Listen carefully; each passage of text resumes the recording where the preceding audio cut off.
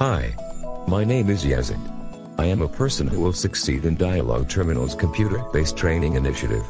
Working from home has taught us to think of new ways to solve problems. Working online is a new frontier in today's world of work. And it was because of the concept of computer-based training that it was created. This computer-based training aims to provide employees with online training. You can get training online without having to physically attend classes no matter where you are. Your participation in the online class is recorded, and all you have to do is answer a few questions at the end of the video that will test your understanding of the topic you just watched.